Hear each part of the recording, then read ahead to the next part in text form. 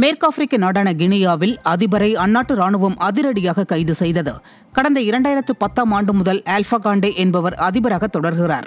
இவர் மீது பல்வேறு குற்றச்சாட்டுகள் எழுந்த நிலையில் நேற்று தலைநகர் கொனாக்ரியில் உள்ள அதிபர் மாளிகைக்குள் நுழைந்த அந்நாட்டு ராணுவ குழு அதிபரை அதிரடியாக கைது செய்தது. மேலும் அதிபர் ஆட்சி கலைக்கப்பட்டதாக ராணுவம் அறிவித்துள்ளது. அதிபர் பதவியிலிருந்து விலக்கப்பட்டதை அறிந்த அந்நாட்டு மக்கள் தெருக்களில் கொண்டாட்டத்தில் ஈடுபட்டனர். தொடர் தாக்குதல் காரணமாக ஆப்கானிஸ்தானில் உள்ள காபூல் விமான நிலையம் சேதமடைந்த நிலையில் தற்போது உள்நாட்டு விமான சேவை மீண்டும் தொடங்கியுள்ளது.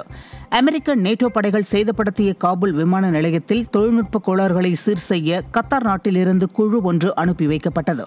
இந்நிலையில் காபூலிலிருந்து ஹெராத் மற்றும் காந்தகார் நகரங்களுக்கு உள்நாட்டு விமான சேவை மீண்டும் தொடங்கியுள்ளது. புதிய அரசு அமைக்க உள்ள தாலிபான்களின் தலைவர் முல்லா பராதர் ஐநா சபையின் மனிதாபிமான விவகாரங்களுக்கான துணை பொதுச் செயலாளர் மார்டின் கிரிஃபித்ஸுடன் பேச்சுவார்த்தை நடத்தினார். காபூலில் உள்ள வெளியுறவு அமைச்சக அலுவலகத்தில் நடைபெற்ற இந்த பேச்சுவார்த்தை குறித்து தாலிபான் செய்தி தொடர்பாளர் முகமது நயீம் வெளியிட்டுள்ள டுவிட்டர் செய்தியில் தாலிபான் அரசுக்கு ஆதரவும் ஒத்துழைப்பும் அளிக்க ஐநா சபை உறுதியளித்துள்ளதாக தெரிவித்துள்ளார்.